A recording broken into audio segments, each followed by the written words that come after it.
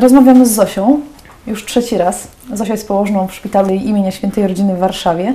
I nasze pierwsze spotkania dotyczyły, dotyczyły najpierw przygotowania się do ciąży, potem e, ciąży i, i porodu.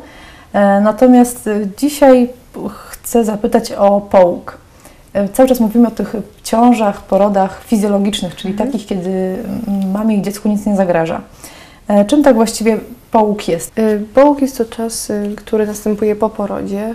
Y, On trwa około 4 tygodni, 6 tygodni też ten, ten zakres czasowy obejmuje. Jest to czas powrotu organizmu kobiety do takiej, można powiedzieć, sytuacji wyjściowej sprzed ciąży. Jest to czas na cofnięcie się różnych zmian, które zaszły w organizmie kobiety.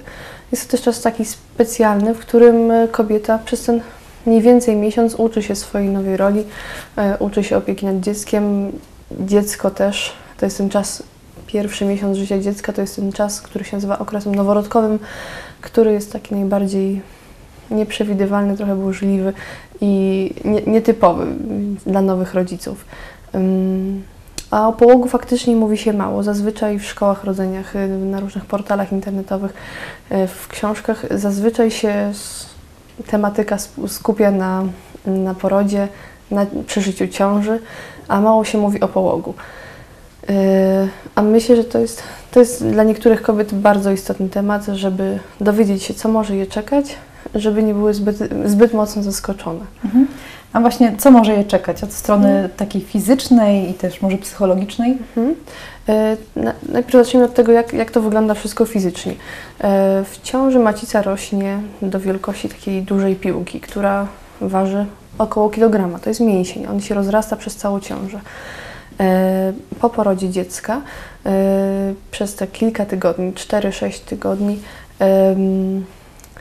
macica z tej kilogramowej dużej piłki musi wrócić do, do takich rozmiarów jak sprzed ciąży, czyli takich jak pięść e, o wadze mniej więcej 50 gramów e, i schować się za spojeniem łonowym kobiety.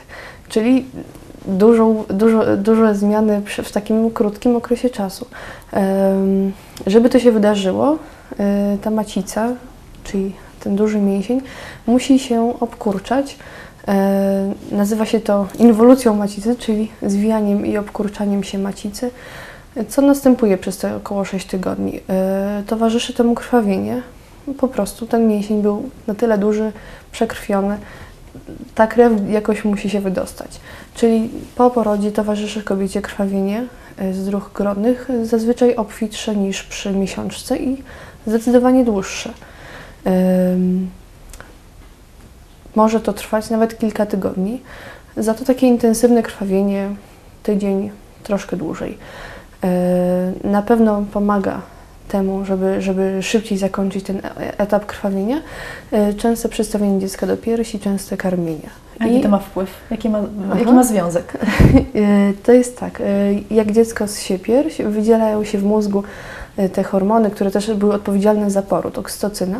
I ta oksytocyna też wpływa na obkurczanie się mięśnia macicy po porodzie. Czyli wskazane jest karmienie piersią. E, Na pewno ułatwia, przyspiesza, przyspiesza ten proces.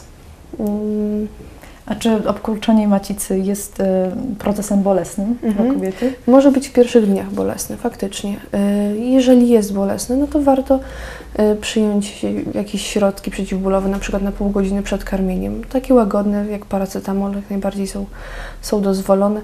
Na pół godziny przed karmieniem może to zniwelować ból podczas samego karmienia, po- ponieważ podczas samego karmienia wydzielają się w największym stopniu te hormony, oksytocyna i wtedy ta bolesność może być odczuwalna, ale zazwyczaj to nie trwa dłużej niż kilka dni.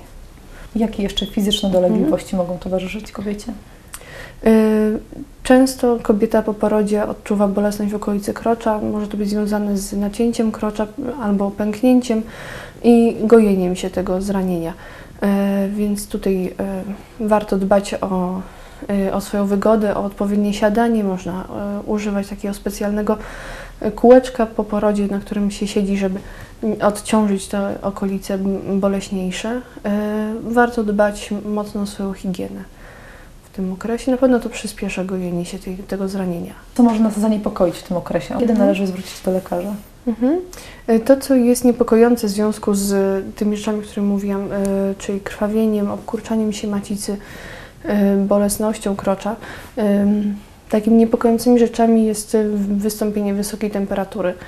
Em, Zmiana tej wydzieliny na jakąś niepokojącą, o nieprzyjemnym zapachu, dziwnej konsystencji, coś, co, albo przedłużający się ten okres, coś, co nas niepokoi, coś, co powoduje przedłużony ból, nieprawidłowe gojenie się rany. A jakie dolegliwości mogą towarzyszyć kobietom, y, które urodziły poprzez cesarskie cięcie? Mhm. Mówiłaś wcześniej, że to jest y, dosyć poważna operacja. E, Kobiety, które rodziły poprzez cięcie cesarskie również, e, również mają okres połogu, tylko trochę on inaczej wygląda.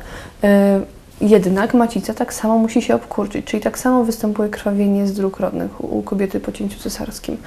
E, To, czego nie odczuwa ta kobieta, to bolesność krocza. Za to odczuwa bolesność mięśni brzucha, e, bolesność tej rany, e, przez którą zostało dziecko wyciągnięte. Może to być dla niej duże utrudnienie. Każda kobieta to inaczej odczuwa. Zazwyczaj kobiety mówią, że po porodzie, po cięciu cesarskim czują się gorzej niż jeżeli miały w swoim doświadczeniu mm, po porodzie naturalnym. Y, Jednak każde dźwignięcie się z łóżka, wstanie, zmiana pozycji, podniesienie dziecka może y, jednak na- napina mięśnie brzucha, powodując jakąś bolesność. Tutaj możliwe, że, że kobiety po cięciu cesarskim będą wymagały dłuższego przyjmowania środków przeciwbólowych po porodzie. A powiedz jeszcze, czy przyjmowanie środków przeciwbólowych y, w połączeniu z Mhm. karmieniem piersią y, jest wskazane, dozwolone? No nie wiem, Mhm. przecież Są pewne środki, które są do, dozwolone. Takie podstawowe jak paracetamol jest zupełnie bezpieczny. Drugi bezpieczny to, jest, to są leki na bazie ibuprofenu. Mhm. Czyli mamy, mamy, mamy całkiem dużą gamę leków, których, które można wykorzystywać podczas karmienia piersią. Jak tak słucham y, o tych i o połogu, i wcześniej Mhm. o ciąży, wydaje mi się, że to jest dosyć trudny czas dla kobiety z takiego psychicznego punktu widzenia, Mhm. ponieważ pojawiają się nowe obowiązki, zaczyna się nowe doświadczenie i jeszcze te fizyczne, fizyczne zmiany w ciele. I jak z psychiką kobiety w, w tym czasie? Y, Na pewno to, że kobieta może, te pierwsze dni, pierwsze tygodnie mogą być dla niej wyjątkowo intensywne, wchodzi w nową rolę. Y, Ma zdecydowanie zmniejszoną y, ilość snu w ciągu doby. Bolesność różnych miejsc ciała, z, z uczucie jakiegoś takiego rozbicia i, i nieradzenia sobie z nowymi obowiązkami może towarzyszyć kobiecie e, trudności nie wiem, w karmieniu piersią. To wszystko może się ponakładać e, na to, że po porodzie występuje e, zdecydowany spadek hormonów, które wpływają na psychikę kobiety. Po porodzie hormony powoli wracają do, do takiej nowej normy, można powiedzieć, bo jednak e, karmiąc na przykład piersią, to jednak kobieta wydziela hormony, których przed porodem nie wydzielała w takiej ilości. Za to e, po porodzie normalnym jest, że kobieta może odczuwać e, przygnębienie, smutek, może mieć większą płaczliwość, być bardziej drażliwa. Niektóre kobiety są na to wrażliwsze i jak częściej płakały w ciąży, to też częściej płaczą po porodzie i, są takie bardziej rozdrażnione. Nazywa się to mm, okresem baby bluesa, czyli taki, e, takiego spadku nastroju po porodzie trwającego kilka dni. E, Bardzo ważne jest to, żeby uświadomić sobie, że coś takiego może być, żeby zdawać sobie sprawę z, z tego, że te emocje są normalne, e, żeby rodzina też o tym wiedziała. Za to, jeżeli to się przedłuża, ten stan takiej bezradności, bezsilności, e, smutku, trudności z cieszenia się tym, co się dzieje, w, co się stało w życiu, ym, to warto, warto się po, poobserwować, może porozmawiać z kimś na ten temat, bo po porodzie niektóre kobiety mogą ten delikatny spadek nastroju, jakim jest baby blues, może się przerodzić w, w poważniejsze zaburzenia psychologiczne po porodzie, na przykład depresję poporodową. Na pewno bardzo ważne jest to, żeby mm, kobieta dała sobie czas odpoczynku w tym, w tym czasie połogu. E, Żeby trochę traktowała siebie jak królewna, żeby rodzina też troszeczkę ją potraktowała jak królewnę. Em, Spała wtedy, kiedy dziecko śpi. E, Zapomniała o obowiązkach domowych. Idealnie byłoby, żeby zamiast tabunów rodziny odwiedzającej było parę osób wyznaczonych, które mają po prostu donosić gotowe garnki z jedzeniem pod drzwi domu, zapukać, zrobić zakupy, wyjść y, i, i, i tyle. Czy tam zrobić pranie, posprzątać w domu. Wydaje się, że to jest duże ułatwienie dla kobiet, żeby, żeby ten czas połogu był dla nich łatwiejszy, żeby ten pierwszy miesiąc, pierwsze sześć tygodni mieć, mieć szansę na wdrożenie w tą nową rolę, żeby fizycznie też to i psychicznie łatwiej odczuć. Warto, żeby kobieta nie przeciążała się obowiązkami domowymi, e, żeby nie dźwigała zakupów, e, czy, czy, czy na przykład dziecka w foteliku. To jest zmora naszych czasów, że dzieci w tych fotelikach noworodkowych są noszone przez mamy e, w bardzo wczesnych dniach po porodzie. To jest, to jest niebezpieczne nawet dla statyki układu, układu rodnego. Czyli tutaj rola rodziny i też pewnie Mhm. męża czy partnera jest nieoceniona. Bardzo ważne jest to, żeby kobieta miała, miała wokół siebie bliskich, tych, których chce mieć oczywiście, dla których nie będzie musiała yy, Sprzątać ani gotować. sprzątać, gotować i, i tych gości u, ugaszczać i, i samej też wyglądać jakoś bardzo, bardzo reprezentacyjnie. Yy, Więc bardzo ważne jest to, żeby były to osoby, które ją akceptują, które ją wspierają, które umieją ją wesprzeć w tym czasie. Świetnie byłoby oczywiście, żeby to był y, partner, który, który później, który jednak jest, y, powinien grać kluczową rolę w, we wspieraniu matki, y, jako że on też wchodzi w nową rolę, no, w rolę ojca. Mm, Tata może zająć się właśnie przejęciem obowiązków y, domowych, mm, czy zajęciem się starszymi dziećmi, jeżeli starsze dzieci są w domu.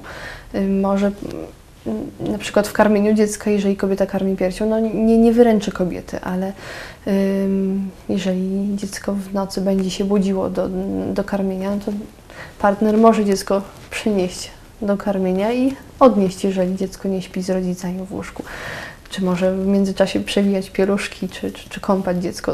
Jest szereg rzeczy, którymi może się zająć, żeby odciążyć kobietę w tym czasie. Na pewno y, jego wsparcie psychiczne i akceptacja y, psychiki kobiety i specy, specyfiki tego czasu y, pod względem psychologicznym jest również istotna.